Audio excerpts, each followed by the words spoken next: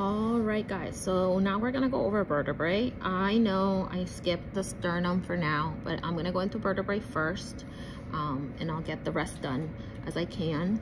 So let's start with some cervical vertebrae, right? So within the cervical vertebrae, you're gonna have three different types of vertebrae because you have C1, atlas, C2, and then a typical cervical vertebrae. So let's take a look at a typical cervical vertebrae first. The first thing is it's very, very happy to see you. See, it's got a little smile right there and the little eyes. So this is how you know it's a cervical vertebrae. It's always happy to see you. So that's because a cervical vertebrae has foramina right here. These foramina that a typical other, like a, a thoracic vertebrae is not gonna have. A lumbar vertebrae is not gonna have that. So the cervical vertebrae stands out because of that um, transverse, transverse foramina.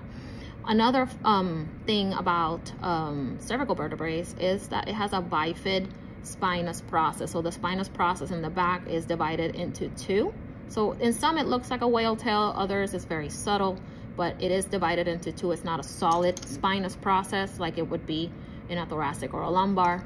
So that is what makes it different. Now everything else is it's the same. So you have a body of the vertebrae, you have a pedicle, and the pedicle is what separates the body from the transverse processes. You have two transverse processes. In this case, you have transverse foramina. Then back here, you have the lamina, the lamina, and then the spinous process. Same thing with the thoracic. Thoracic slightly different. You have the body, you have the vertebral foramen, transverse process. So right here, you have the pedicles, pedicle, pedicle, transverse processes and you have the lamina and the spinous process, right? Spinous process. Now, um, you'll notice in this thoracic that it has these two little ears right here. It has two on the top and it has two on the bottom. So those little ears are facets and that's what allows um, the vertebrae to articulate with the vertebrae above and the vertebrae below.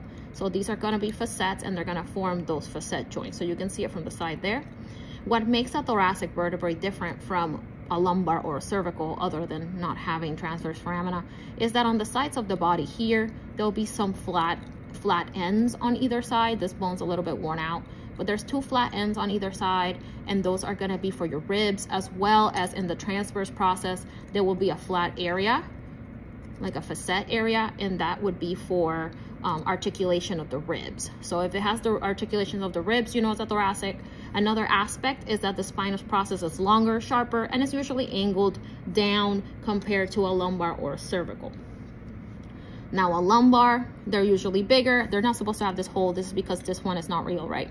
So this is supposed to be solid. So you have your body, again, your pedicles, your transverse processes, and your spinous process and your laminas. And then you can see that the articular facets for the lumbar are a lot bigger and they're kind of angled sideways as opposed to the thoracic where they're angled um, they're angled straight up. So the facets are angled at a different different direction but you can see that the shape is is different. Um, so don't go by shape because I like I said I can have um, bones that are the same size from different regions. Now special vertebrae.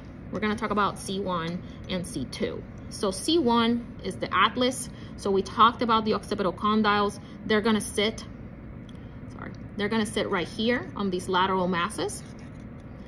The C1 vertebrae, the atlas, does not have a body. Instead, it has an anterior arch and an anterior tubercle. So there's a part that sticks out. And the point of that anterior arch is to articulate or joint up with C2. If we go towards the sides, You'll still find the transverse foramina, so still, still cervical vertebrae, transverse processes, and then in the back, instead of having a spinous, it has a posterior arch.